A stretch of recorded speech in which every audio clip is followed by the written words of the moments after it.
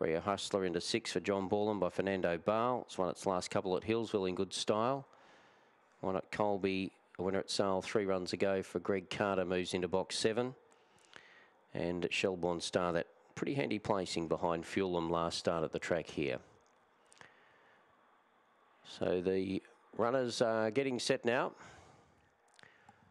Race uh, seven on the program. Moving in well, and there is the green light. Ready for a start. Favourite box two.